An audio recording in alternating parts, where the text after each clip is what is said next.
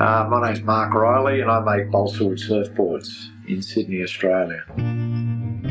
Uh, I first found balsa when I was travelling. I'd broken a board and could see everyone breaking boards there at the time as regular polyurethane boards. And I heard about balsa wood down in Ecuador. When I got there, I sort of went around looking for balsa and you know there's heaps of balsa there, heaps of balsa suppliers there. And um, I brought some balsa back just to build a couple of boards.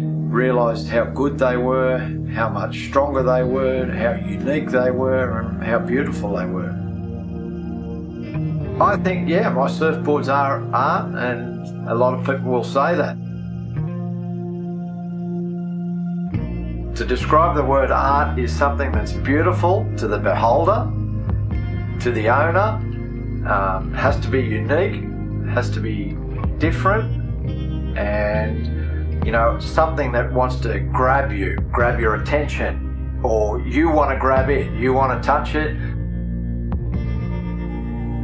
There's not 10 or 15 plain, same white board standing there in a rack. Every one, uh, one of mine is different, whether it's a nose and tail block, whether it's the rails, whether it's the, there's the these stages of these little highs that you get when you complete each little section. And then at the end of it, if you've got a board to ride, there is so much satisfaction in it. Just holding it in your hands, looking at it, saying, I built this. But then when you take it out in the water, that's when they, and you catch a wave, that's when the, the satisfaction really kicks in. And, and once you've done one, you know, you get hooked. Build a fish to start with, you'll come back then build a mini mal.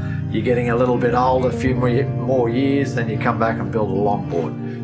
You know, to create something yourself to go surfing on is even you know, a bigger buzz or more satisfying than taking a plastic surfboard down there and lying on a plastic surfboard.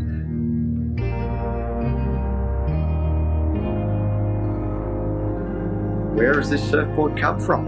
How was it made? What's it made from? You know, no one really thinks that. No one knows what a regular surfboard's made from.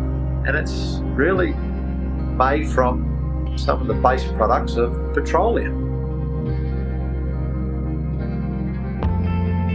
there is a movement now in the eco-friendly side of things where you know people are becoming more conscious and they do want to do the right thing they can see that they they're growing in this plastic world and everything's in the throwaway type mode that once you're finished with it you chuck it away you can't recycle a surfboard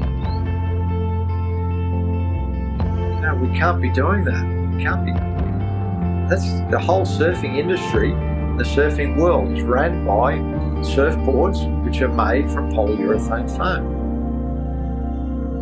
We need to change it. We need better materials.